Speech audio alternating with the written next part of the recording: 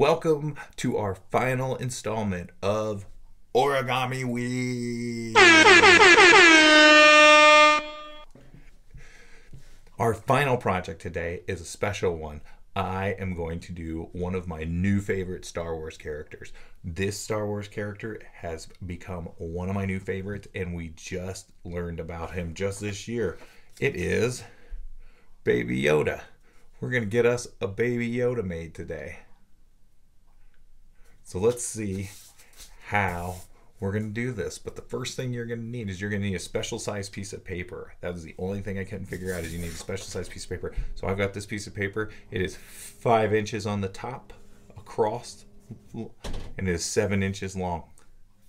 Okay, nice and easy. If you need somebody to help you out with that, have mom or dad help you cut that piece of paper nice and small, or you can do it the uh, tearing style that Mr. P did the uh, crane project yesterday.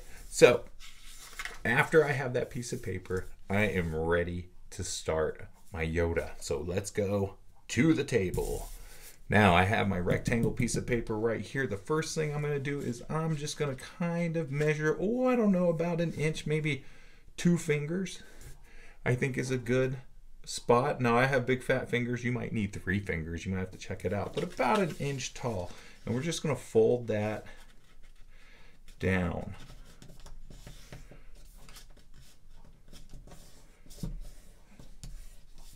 Right, once we get that step done, now it's time to go to the sides and start working on the sides a little bit. So I'm gonna do two squash folds today.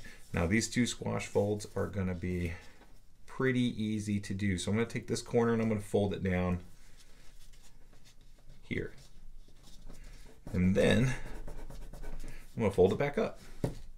Same on the other side. Let's take that, fold that down down real good, get a nice crease, open it up, and here comes the squash fold. We got these two corners right here that we're gonna lift up. We're gonna push those guys in, and we're gonna hide those guys down there. Now you have, should, should have something that kind of looks like this. Once you're finished, okay, the next step is to flip it over. And we're going to take same thing, about two fingers up from the bottom. Fold that real nice. Now the next fold, this is going to be called an accordion fold. So this is a little bit different where we're going to flip it and then we're going to fold it again. So we flip the first one up. Now we're going to flip this piece down and we're only going to fold a little bit from the bottom. We're going to leave a little bit up there. And we're going to fold it down. So it should look kind of like, you got a little zigzag right there. You see that little zigzag? Then we got that zigzag. Once we get that zigzag in, we are on our way and just about halfway done with our baby Yoda. So I'm to flip it over. Now I'm on the front here again. Take this piece. I'm going to fold it almost all the way up to the top here. I'm going to leave a little bit poking out on the top. Right there. Then we're going to do another accordion fold. So we folded it up. Now we got to fold it back this way. So we're going to fold it back this way, but I'm just going to fold it down to about right at the end of where this top trapezoid here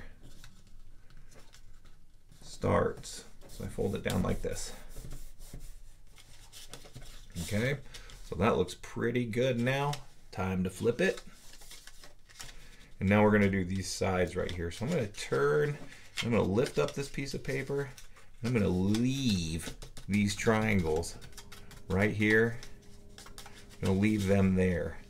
And I'm gonna kind of fold it in at an angle. So it folds down a little bit. A little big piece is going to stick down here at the bottom. That's okay. Let's do the other side too. I'm going to fold at a little bit of an angle and down.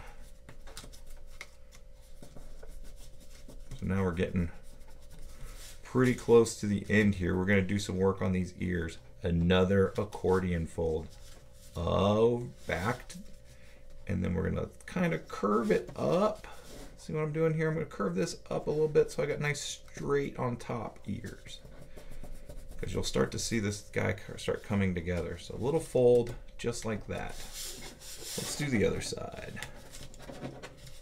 We'll fold in and up. So I'm gonna leave the bottom of that fold real close to the edge. Right there. And the very last step is I'm gonna take this little spot between the ear and the head. I like my head to be a little bit shorter. So I'm gonna fold this over. Right here. Now if we flip it over, check that out. We're starting our nice little Yoda here. My ear is a little off over here, I think. I need to pull it out a little more. Ah, that's better. Now we got a baby Yoda here. Let's go back to the table and let's draw some eyes in on here and really get our Yoda going. Now our Yoda's got some like, I call them almond shaped eyes. Nice alien shaped eyes. So we're gonna start here. We're gonna curve and almost make like a sideways teardrop. You see that? I'll lay that in. do another one on this side. Try to make it the same size. It's always hard to get it the exact same size and shape when you do eyes like this. But that's pretty good. Little U for the nose. And I like my Yoda to have kind of a little curvy face like that. If you want to, go in here and make some little ear triangles in here. And do that too. You could even full color this thing. But there's my little baby Yoda. He's adorable, isn't he?